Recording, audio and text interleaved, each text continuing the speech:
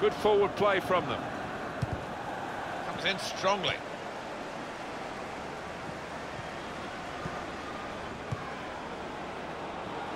And the time to be added on here is a minimum of three minutes. Three minutes of added time.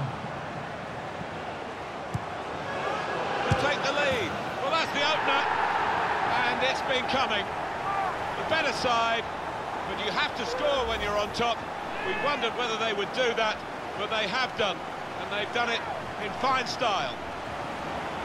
It's been a half of great action, which has continued right to the very end.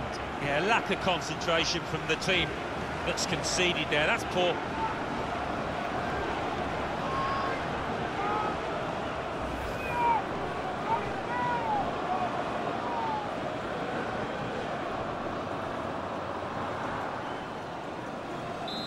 And that has opened the scoring. 1-0 here.